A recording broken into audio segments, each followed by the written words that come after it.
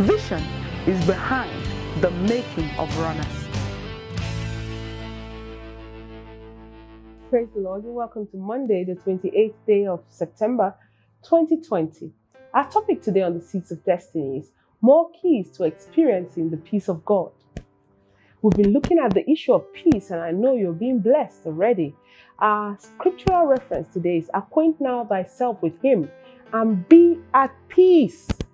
Thereby shall good come unto thee. That's an awesome passage. Job chapter 22, verse 21. Thought for the day. Spending quality time in the presence of God is a doorway to peace. Yesterday, we saw three demands or keys to experiencing the peace of God. Today, we shall consider more keys to experiencing the peace of God. Number one is intimacy with God. Everyone who hangs around fire must feel warm. For instance, if you stay around the kitchen for a while, people would begin to perceive the aroma of food around you. In the same way, when you stay around the presence of God, the God of peace, you will experience His peace. The presence of God is a container of peace. It is a dimension of peace that is devoid of worry and pressure. Spending quality time in the presence of God is a doorway to peace. People who carry the presence of God walk in unspeakable peace. When you come around them, you feel the serenity of heaven. When you connect yourself with God in intimacy, you will be at peace in life. Job 22 21. When you come to Jesus, you will find peace. Matthew chapter 11, verse 28 to 29. He's the Prince of Peace. Isaiah 9 uh, and verse 6.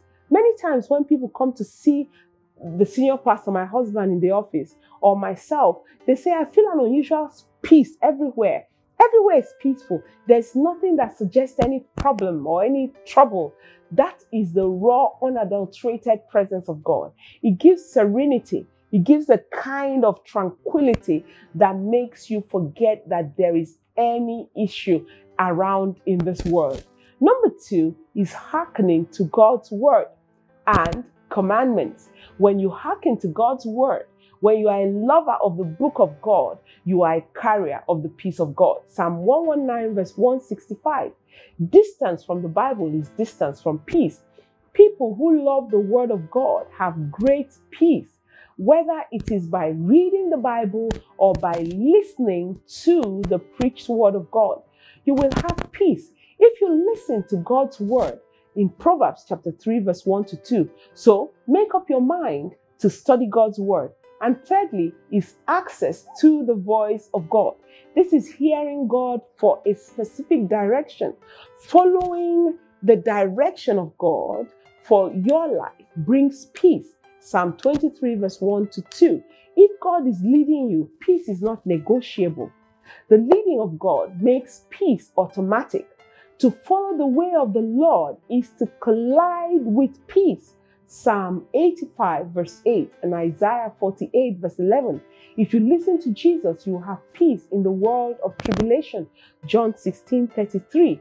So please know this God is not in anything you do that deprives you of peace. It does not matter how excited you are or how fanciful it appears. If you lack peace, God is not in it. Peace is a proof of divine guidance. Colossians chapter 3 verse 15. My counsel is let the peace of God rule your life as an umpire. Let the peace of God be your guide in life. And remember this that spending quality time in the presence of God is doorway to peace. Praise the Lord. What's our assignment today? Number one, make up your mind to spend quality time with God at the place of prayer. Number two, read your Bible and listen to preached words, preached messages, and then obey the word of God. And thirdly, access specific divine direction for your daily living. Praise the Lord. I'm excited that God is set for your lifting in the name of Jesus. Let's pray. Say, Oh Lord, I thank you once again for showing me the keys to experiencing peace, your peace in my life. I ask for the grace to do all it takes to experience your peace, oh Lord, in Jesus' name. Amen. Praise the Lord. I'd like to pray for you today. You want Jesus to be the Lord of your life? Pray this after me. Say, Lord Jesus, thank you for dying for my sins. I receive you as my Lord and Savior. Please forgive me all my sins. Wash away my sins. Make me a new person. From today, I turn my back on sin. I will live to please you, O Lord. Thank you for hearing me. In Jesus' name. Amen. Please find yourself a Bible believing church. Get planted, get, get settled in the presence of God, and you will be blessed. And praise God, today is your birthday on the 28th of September. Congratulations, it's a special day, and I wish you a very special happy birthday. I pray the Lord's hand be made manifest upon your life. I pray the blessings of God upon your life today, and I ask that you be blessed in the name of Jesus Christ. Have a wonderful day.